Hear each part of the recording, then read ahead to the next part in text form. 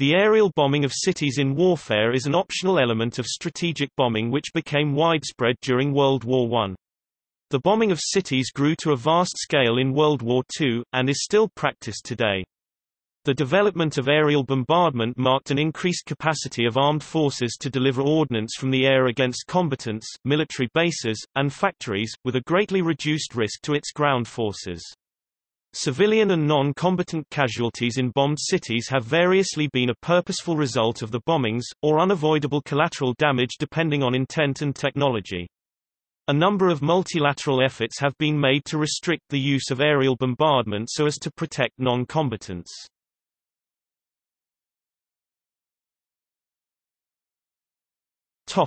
Before World War I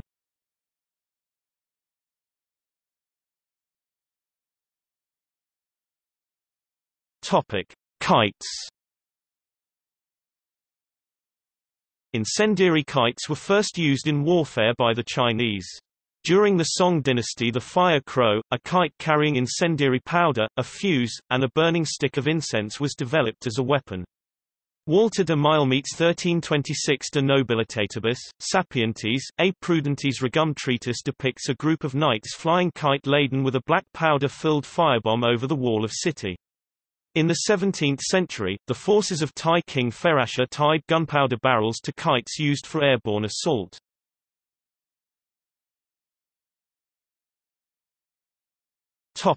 Venice 1849 In 1849, Austrian forces besieging Venice launched some 200 incendiary balloons, each carrying a 24 to 30 pound bomb that was to be dropped from the balloon with a time fuse over the besieged city. The balloons were launched from land and from the Austrian Navy ship SMS Vulcano that acted as a balloon carrier.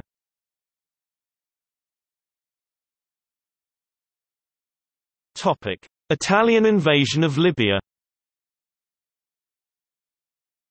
The first ever air raid was conducted during the Italo-Turkish War by Italian forces against the Ottoman province of Libya on November 1, 1911.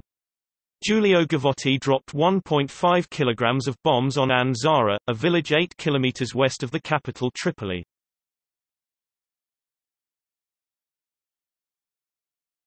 Topic: Balkan War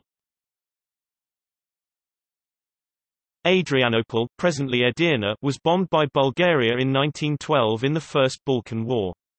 Historically, it was the first bombardment of a city from a heavier-than-air aircraft. In the morning of 29 October 1912 at 9.30 am the plane Albatros F-3 took off from an airfield near the village of Mustafa Pasha, present-day Svilengrad, Bulgaria. The pilot was Captain Radul Mikov with spotter and bombardier Prodan Tarakchev. The airfield was specially created to carry out the takeoff and landing. According to the report weather conditions were perfect. The flight lasted for 1 hour and 20 minutes and the altitude was 500 meters. During the flight the crew flew over the city of Edirne, discovered hidden Ottoman forces in the nearby villages and flew towards to City Railroad Station, near the village of Karagik.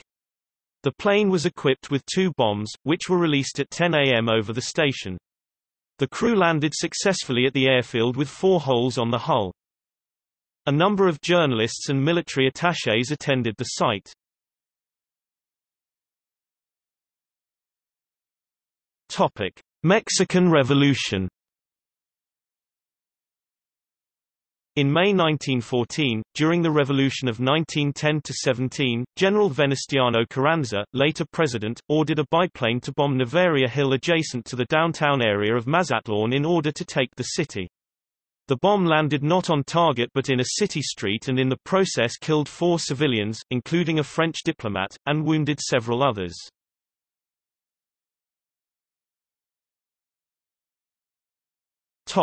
World War I The first civilian target to be bombed from the air was the Belgian city of Antwerp. This city, at that moment the national redoubt of Belgium, was bombed during the night of 24 to 25 August 1914. Instead of targeting the surrounding fortresses, the Zeppelin LZ-25's intention was to bomb the clearly distinguishable historical center of the city. The Zeppelin dropped approximately 10 bombs, killing 10 people and injuring 40. The British Royal Naval Air Service RNAS undertook the first Entente strategic bombing missions on the 22nd of September 1914 and the 8th of October, when it bombed the Zeppelin bases in Cologne and Dusseldorf. The aeroplanes carried 20-pound bombs, and at least one airship was destroyed.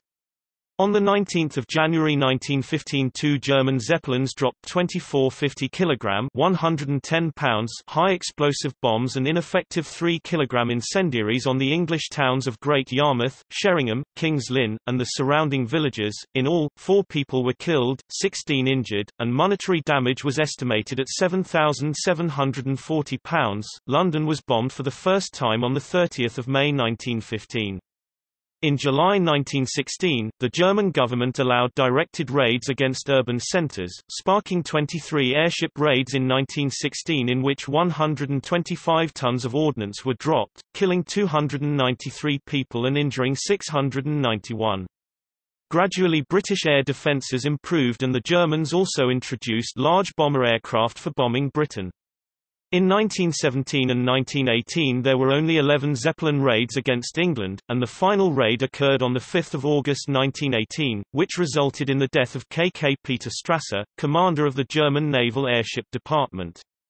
By the end of the war, 51 raids had been undertaken, in which 5,806 bombs were dropped, killing 557 people and injuring 1,358. In the course of the Zeppelin raids the Germans lost more than half their airships and 40% of their crew. It has been argued that the raids were effective far beyond material damage inflicted, in diverting and hampering wartime production, and diverting 12 squadrons and over 10,000 men to air defences.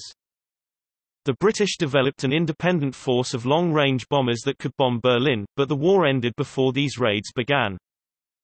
After the war, bombers' increasing sophistication led to the general belief that aerial bombing would both destroy cities and be impossible to stop, as Stanley Baldwin stated in a 1932 speech, "...the bomber will always get through."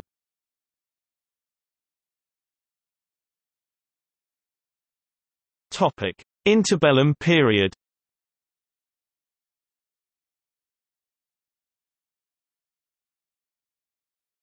Topic. Iraqi revolt against the British After World War I, there were protests in Iraq against continued British rule. Many Iraqis across a wide spectrum of opinion opposed the British mandate for Iraq.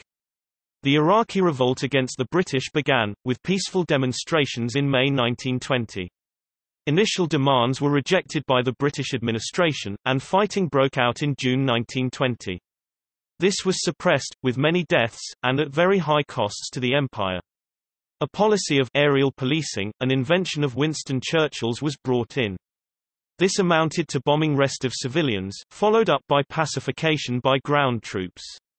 This continued up to the mid-1920s. The aerial campaign included Sir Arthur Harris, 1st Baronet, who commanded a Vickers Vernon squadron engaged in the bombing and strafing of recalcitrant civilians. Harris felt that the Arab civilians required this kind of heavy-hand treatment. Topic: Somaliland campaign. Following the end of World War I, the British stepped up their efforts in their war against the Somali dervish movement, led by the so-called Mad Mullah, whom they had been fighting for the control the area formerly known as British Somaliland. However, they had been unable to defeat the Dervish movement for nearly 25 years. In January 1920, the British launched a combined aerial and land attack, bombarding Taleh, the capital of the revolt. The Somaliland campaign has been described as one of the bloodiest and longest-running conflicts in the history of sub-Saharan Africa and the Somali forces are noted for concurrently repelling the invading British, Italian and Abyssinian forces for a period of 25 years.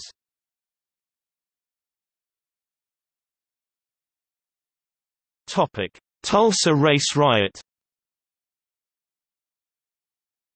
In the United States during the Tulsa race riot of May 31 to June 1, 1921, private aircraft flown by white men dropped kerosene bombs on the Greenwood neighborhood.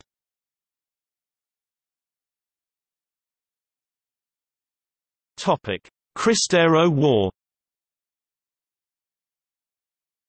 During the Cristero War in Mexico in 1929, Irish pilot and mercenary Patrick Murphy mistakenly dropped several improvised suitcase bombs on the border town of Naco, Arizona, while bombing government forces in the adjacent town of Naco, Sonora, for the Cristero revolutionaries. The bombing, which caused damage to many buildings and injured several bystanders on the American side of the international border, became the first aerial bombardment of the continental United States by a foreign power in American history.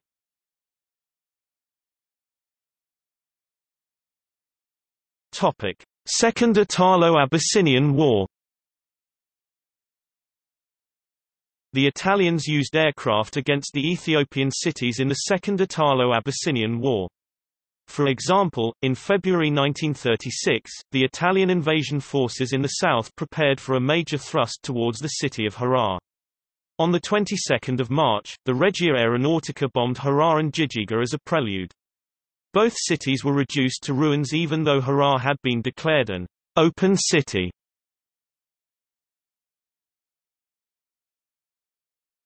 Topic: Spanish Civil War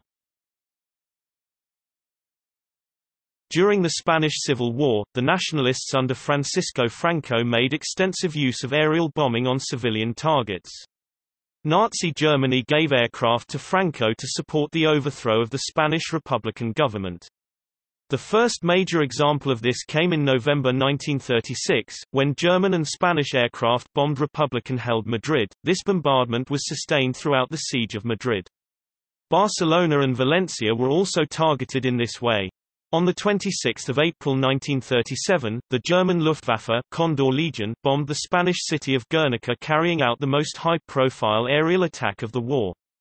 This act caused worldwide revulsion and was the subject of a famous painting by Picasso, but by the standards of bombings during World War II, casualties were fairly minor estimates ranging from 500 to 1,500. Shortly after, the front-page headlines of the Diario de Almería, dated June 3, 1937, referred to the press in London and Paris carrying the news of the criminal bombardment of Almería by German planes.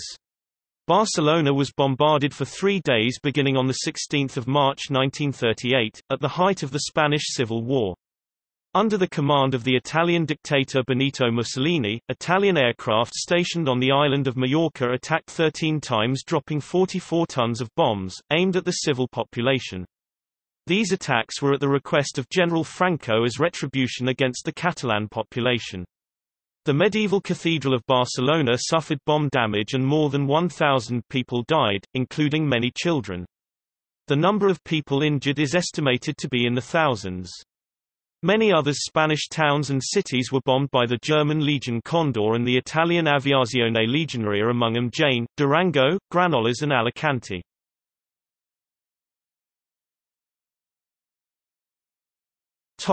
Second Sino-Japanese War During the Manchurian Incident of 1931, the Japanese widely used airplanes to indiscriminately bomb key targets and cities, such as Mukden. After the Marco Polo Bridge incident, the Imperial Japanese Army Air Service, in conjunction with the Imperial Japanese Navy Air Service, began relentlessly bombing Shanghai, Beijing, Peking, Tianjin, Tientsin, and several cities on the Chinese coast from the beginning of the Second Sino-Japanese War in 1937. The bombing campaigns on Nanking and Canton which started in September 1937 evoked protests from the Western powers culminating in a resolution by the Far Eastern Advisory Committee of the League of Nations. An example of the many expressions of indignation came from Lord Cranborne, the British Under-Secretary of State for Foreign Affairs. Words cannot express the feelings of profound horror with which the news of these raids had been received by the whole civilized world. They are often directed against places far from the actual area of hostilities. The military objective, where it exists, seems to take a completely second place. The main object seems to be to inspire terror by the indiscriminate slaughter of civilians.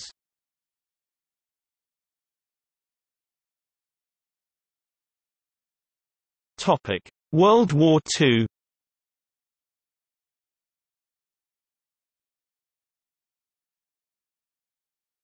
Topic: European theatre At the beginning of World War II, bombing of cities prior to invasion was an integral part of Nazi Germany's strategy. In the first stages of war, the Germans carried out many bombings of towns and cities in Poland 1939, including the capital Warsaw also bombed in 1944, with Wieluń being the first city destroyed by 75%. The Soviet Union also attempted strategic bombing against Poland and Finland, bombing Helsinki. The British bombed the German city of Mönchengladbach on the 11th of May 1940. While Germany had refrained from aerial bombing of British cities after the British declaration of war on Germany in September 1939, Britain started aerial bombing of Germany, officially focusing on military and industrial targets, on the night of 15-16 May with 78 bombers against oil targets, 9 against steelworks and 9 against marshalling yards. Oil remained the main British objective until the summer of 1941, although German cities and towns were regularly bombed from May 1940. After the fall of France, the Luftwaffe turned its attention to the United Kingdom. The scale of the attack increased greatly in July 1940, with 258 civilians killed, and again in August with 1,075 dead. During the night of 25 August, British bombers raided targets in and around Greater Berlin for the first time, in response to the accidental bombing of Oxford Street and the West End by the Luftwaffe while it was bombing the London docks. On 4 September 1940 Hitler, frustrated by the RAF's superiority over the Luftwaffe and enraged by its bombing of German cities, decided to retaliate by bombing London and other cities in the UK. On 7 September the Luftwaffe began massed attacks on London. The bombing campaign was known in the UK as the Blitz, and ran from September 1940 through to May 1941.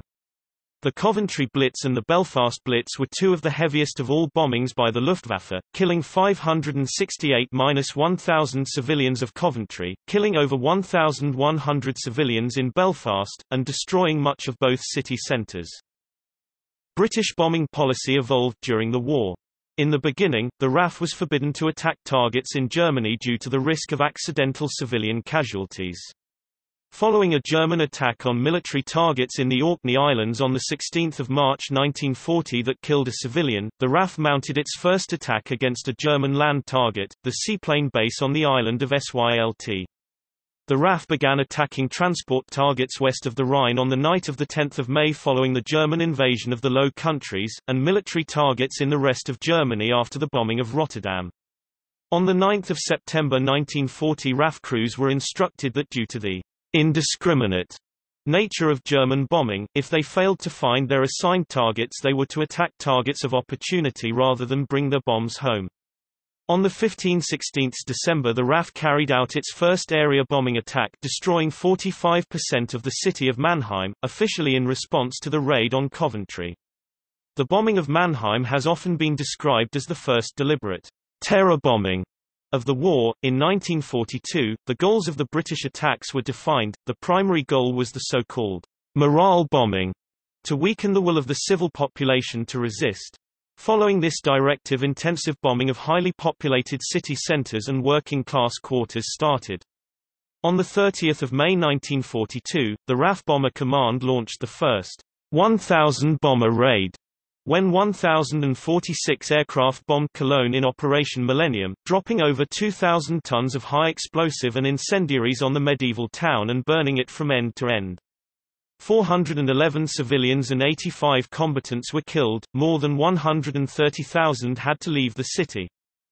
Two further 1,000 bomber raids were executed over Essen and Bremen, but to less effect than the destruction at Cologne. The effects of the massive raids using a combination of blockbuster bombs and incendiaries created firestorms in some sites.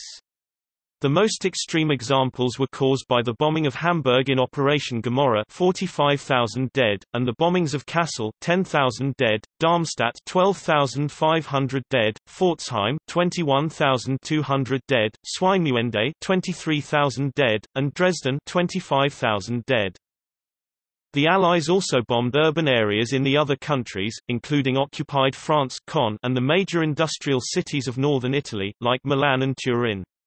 Some cities were bombed at the different times by the Luftwaffe and the Allies, for example Belgrade in Yugoslavia and Bucharest in Romania. The Luftwaffe also bombed cities in the Soviet Union, destroying Stalingrad in a massive air raid at the start of the Battle of Stalingrad and bombing Leningrad during the siege of the city of 1941 to 1943. The Soviet bombing of the German cities was limited in comparison with the RAF bombing destruction caused by the Soviet army was mainly due to the land artillery.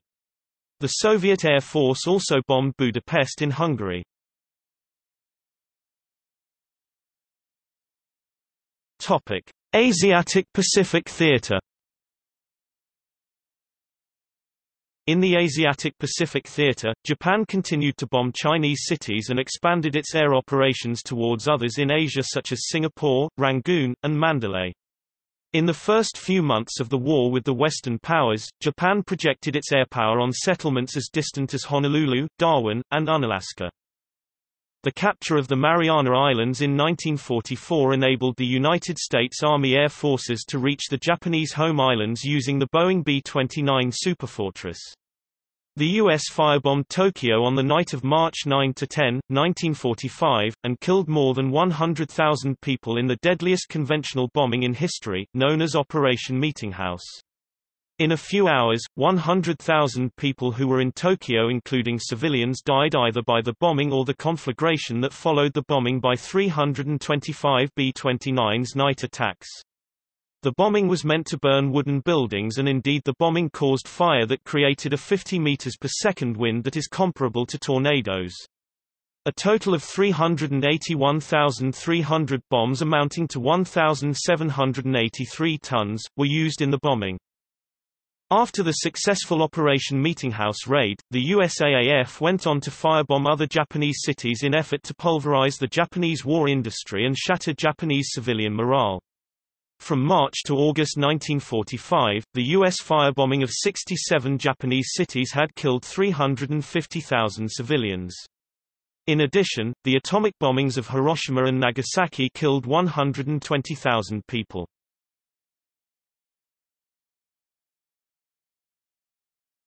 Topic. Since World War II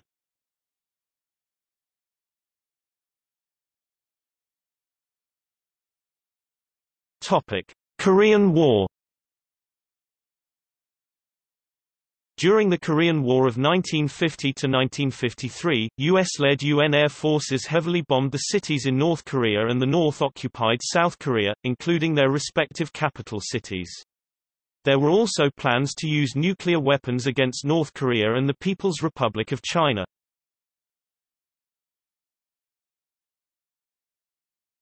Topic: Vietnam War From 1965 to 1968, during the Vietnam War, the United States Air Force conducted an aerial campaign known as Operation Rolling Thunder.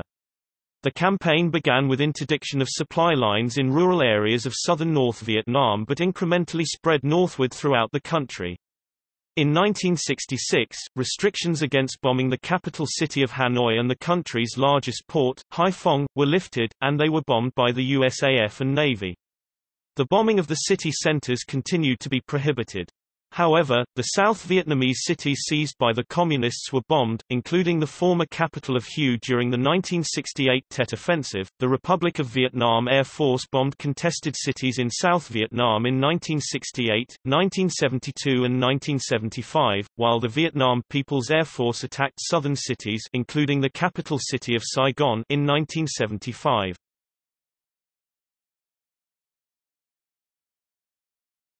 Topic: Arab-Israeli conflict The Lebanese capital of Beirut was attacked by the Israeli aircraft during the siege of Beirut in 1982, and during the 2006 Lebanon War using guided munitions.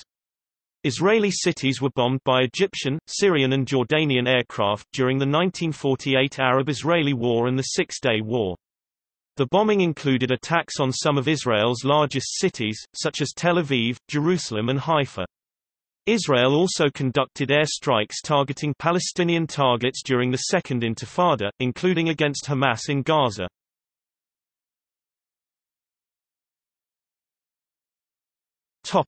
Wars in Afghanistan In March 1979, in response to an uprising, the Khalq-controlled Army of Democratic Republic of Afghanistan carpet bombed the Afghanistan's third-largest city of Herat, causing massive destruction and some 5,000 to 25,000 deaths. Herat was also repeatedly bombed during the following Soviet involvement in the Afghan Civil War. Following the September 11, 2001 attacks, the U.S.-led coalition attacked the urban targets in Afghanistan using mainly precision-guided munitions or smart bombs. The United States government maintains that it has a policy of striking only significant combatant targets while doing all possible to avoid what it terms collateral damage to civilians and non-combatants during the U.S.-led war in Afghanistan.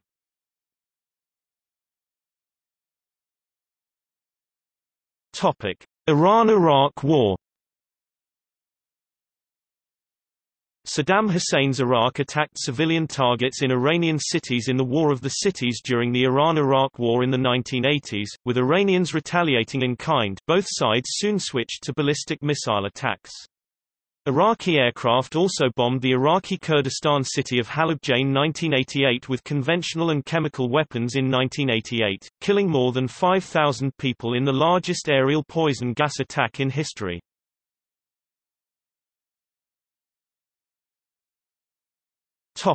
Somalia's campaign against ISAAQ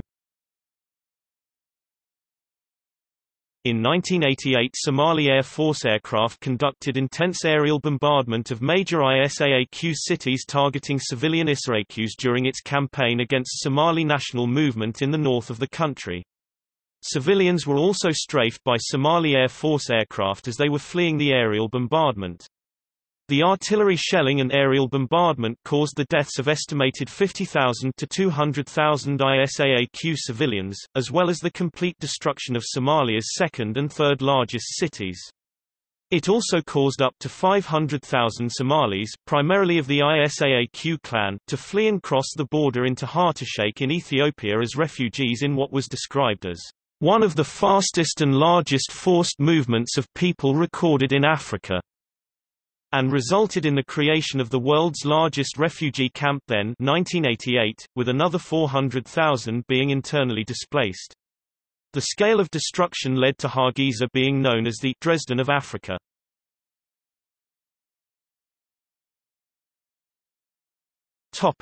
Gulf War The Iraqi Air Force attacked Kuwait City in 1990 and bombed their own cities during the 1991 uprisings in Iraq, targeting civilians with the use of bomb-carrying helicopters use of airplanes was banned by the coalition as part of the ceasefire agreement that ended hostilities of the Gulf War but not the war itself. UN-led coalition aircraft attacked targets in Iraqi cities, including in the capital Baghdad and the largest southern city of Basra during Operation Desert Storm in 1991.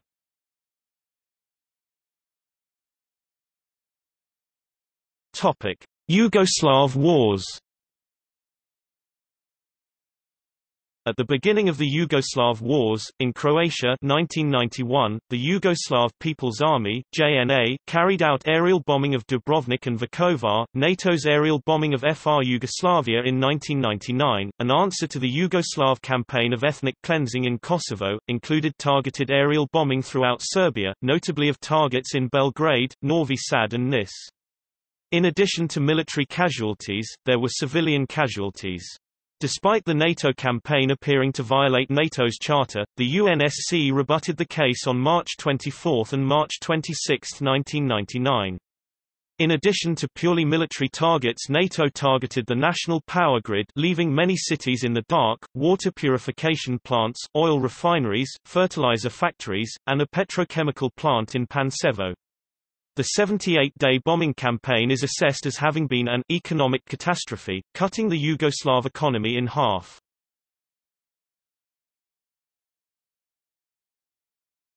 Topic: Chechen Wars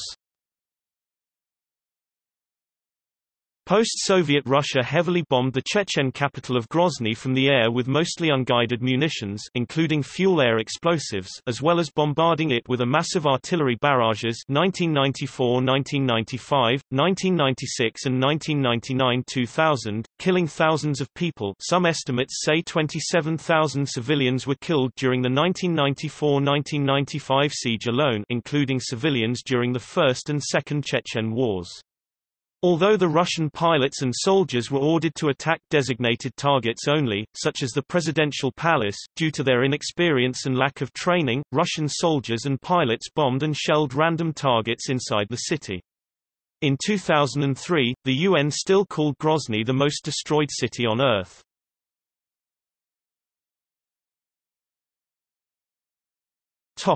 Iraq War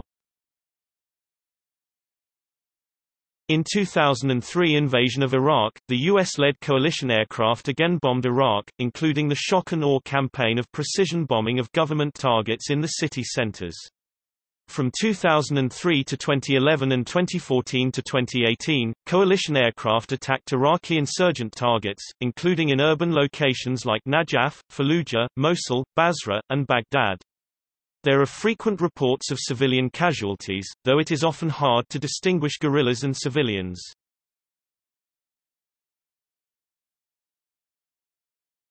Topic: Syria Syrian MiG-23s bombed the city of Aleppo on 24 July 2012, the first use of aerial bombing in the Syrian civil war. Over the course of the war, the Syrian government has dropped tens of thousands of bombs, mostly unguided barrel bombs, on the cities of Aleppo, Damascus, Homs, Hama, Deir-ez-Zor, Hasaka, Daraa, Daraya, and al-Bab. These indiscriminate bombings have killed tens of thousands of people, many of them civilians.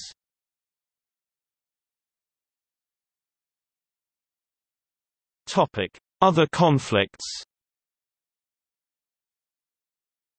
Budapest was attacked by intense Soviet air strikes in 1956 during the Hungarian Revolution.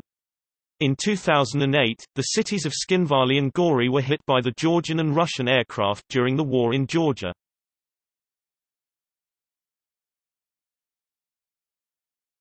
Topic: International law Air warfare, theoretically, must comply with laws and customs of war, including international humanitarian law by protecting the victims of the conflict and refraining from attacks on protected persons. These restraints on aerial warfare are covered by the general laws of war, because unlike war on land and at sea, which are specifically covered by rules such as the 1907 Hague Convention and Protocol I additional to the Geneva Conventions, which contain pertinent restrictions, prohibitions and guidelines, there are no treaties specific to aerial warfare. To be legal, aerial operations must comply with the principles of humanitarian law, military necessity, distinction, and proportionality. An attack or action must be intended to help in the defeat of the enemy, it must be an attack on a legitimate military objective, and the harm caused to civilians or civilian property must be proportional and not excessive in relation to the concrete and direct military advantage anticipated.